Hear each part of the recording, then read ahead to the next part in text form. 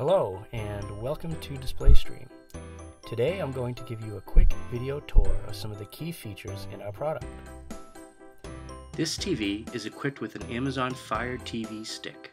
The first thing you'll want to do is search for the DisplayStream Media Player.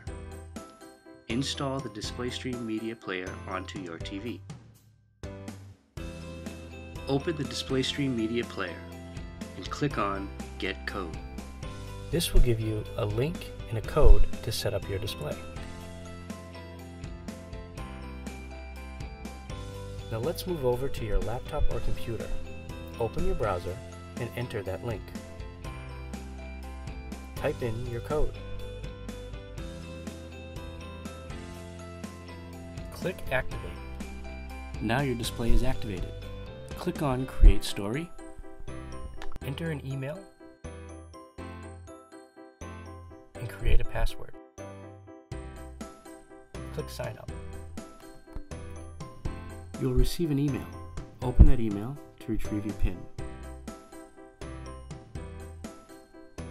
Enter that PIN and click Sign Up. Now you're ready to create a story.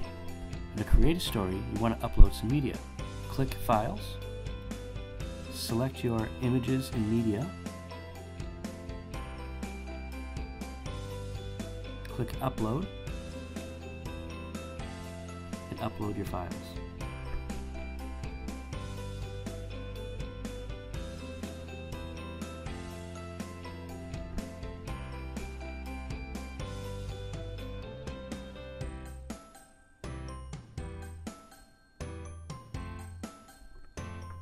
Now this media is all part of your story. To broadcast your story, you're going to want to go up and click Broadcast. Now click on Do you want to broadcast to displays? Scroll down, add a rule.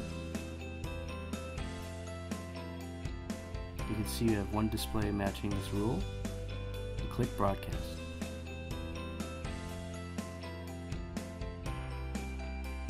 Now your story is broadcasted to your display.